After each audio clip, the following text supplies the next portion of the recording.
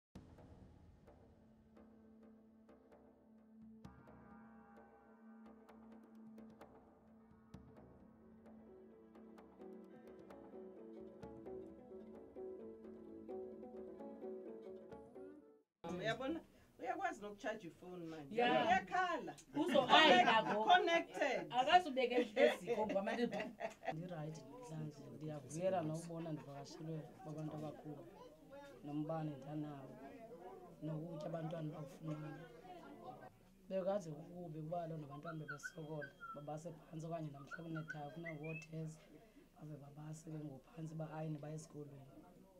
ke ngondiyonwaba noko namhlanje chole iayini bafumane ijakhi bafumane isitofu bafumane ukutya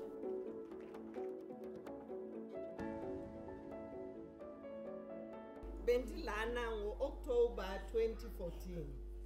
ndafika nge-1 zikaoktoba ndazomamela kuthiwa kuyakhalazwa ndabuya nyhani nama-officials we-o r tambo sathi no iprogram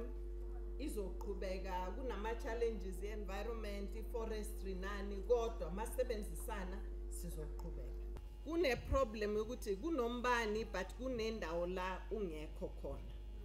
ezarube nezitofu ezi zepalafini kushane izindlu kulimala abantwana kona ngoku kungcono kakhulu ngosinombani kakhulu kakhulu thina phaya emagwa asilayiti asinambane uma ndinawo kodwa kukhona umehluko noko emncinaneni njengoba sasikade singenawo